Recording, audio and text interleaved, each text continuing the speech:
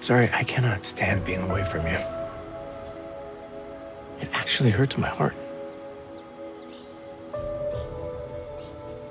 That is what I needed to hear. Mm, mm, mm, mm. But um, listen, if we're gonna save this relationship, we we need to go save the world first. Yeah. Okay. Oh, looks like you guys had a fun day. Brad.